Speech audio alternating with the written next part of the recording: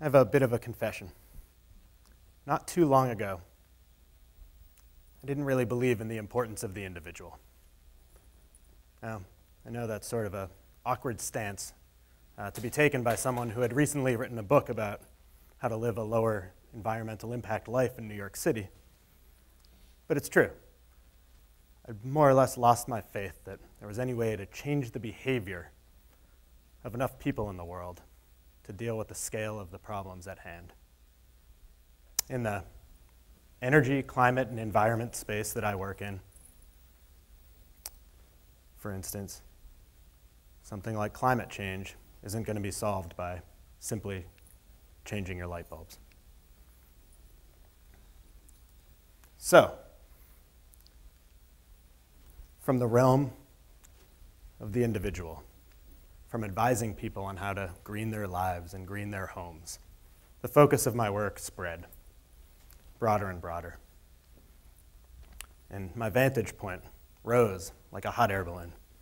And I could see exploring solutions on a broader and broader scale, looking beyond the streets and neighborhoods of New York City, beyond the five boroughs, looking at the whole nation and then the whole planet. And my vantage point reached all the way up to the atmosphere, where today carbon dioxide is in uh, levels of concentration that haven't been seen in 15 million years. Then, it was so warm that there was no Arctic ice cap. Sea levels were at least 75 feet higher than they are today. So, from this atmospheric perspective, looking down at the entirety of this warming world for solutions at this planet with a fever. I started reading and reporting on the science, reading scientific journals, studying policy, arguing nuances in federal energy legislation. And I started believing, well, hoping, that the time might be right, that the leaders might be ready to lead, and we might actually see some action on climate change on the national and international level. Well, then Copenhagen happened. Now, I'd been asked to join a reporting project where young people from a dozen or so countries around the world were to track their country's uh, positions in the climate talks in the lead up to COP15 in Copenhagen. You might remember that these were the meetings where world leaders were going to solve climate change once and for all. Well, they didn't. Now, in Copenhagen, we saw plenty of posturing, heck of a lot of arguing, some actually impressive last minute scrambling by the heads of state to save a little face. But what we didn't see was leadership.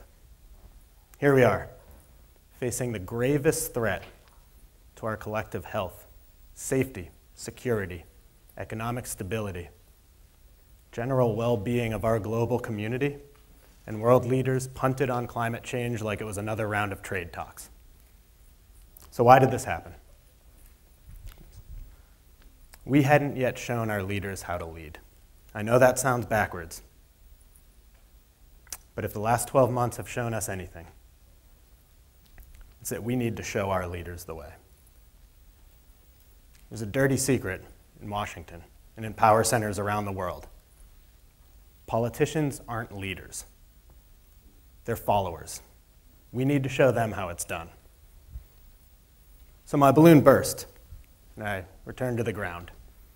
Coming from the UN, where progress is measured in pages of negotiating text, I couldn't wait to connect with real change makers on the ground again.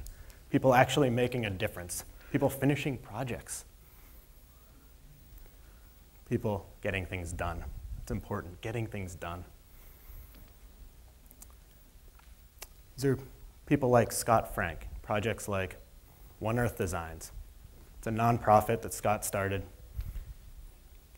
Met with communities in the rural Himalayas, asked them what they needed, collaborated on some designs. Together, they created the SolSource. It's this shiny umbrella looking thing you see in the middle there. SolSource is a lightweight, low cost solar energy device. You can cook with it, you can heat your home with it, it can generate electricity. It's a life improving sometimes life-saving device. Talking about projects like like Limitless Vistas in New Orleans. Here, a couple of dedicated community members decided to create some opportunities for the young men and women in their city. Teach them how to weatherize homes, train them to make them more energy efficient, create these green collar jobs you keep hearing about. In turn, residents in the Big Easy start saving some money on energy bills. And this great American city that's so incredibly vulnerable to climate change reduces its carbon footprint. It's a win-win-win sort of project. I'm talking about projects like TrueLight, where my dear friend Chris Neidl works with students uh, from New York City Public Schools, mostly first-generation immigrants to the country. Helps them start a business, marketing and selling compact fluorescent light bulbs and other home energy-saving devices. They bring them home to their communities, to their neighbors, sell them to their families and friends, these immigrant communities, so often looked by this elite green movement, well, now they're apart because of projects like TrueLight. And when I landed back on the ground, rediscovering all this actual change, I was lucky to land back at Good. And Good's a media company. It's dedicated to helping people live well while doing good. And we do more than just media. We really try to connect with our community.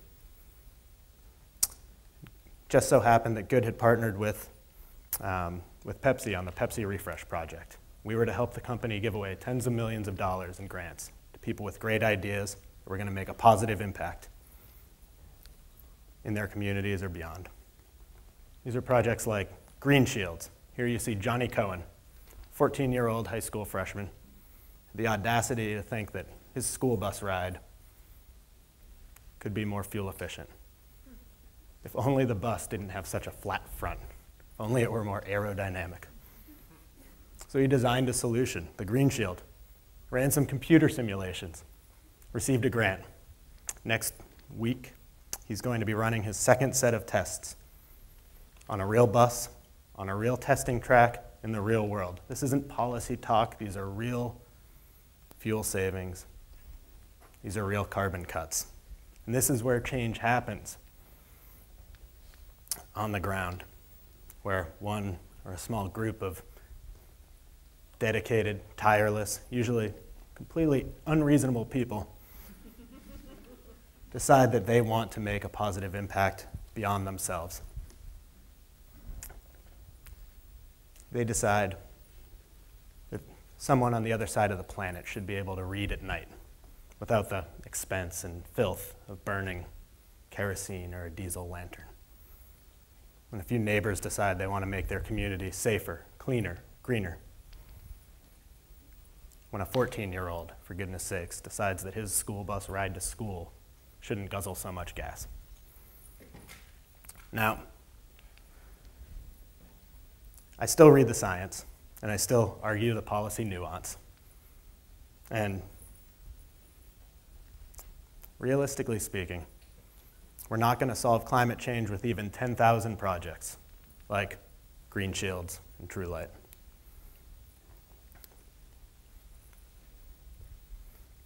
But they are essential in building the movement. And that is why movement building is so critical. These projects prove the concepts of positive progress to our leaders, and they make that political action possible. What's more, these projects immediately improve the lives of others, and there's nothing more important that a human being can do. It's up to all of us to lead our leaders. It's up to all of us to make that change inevitable. Thank you.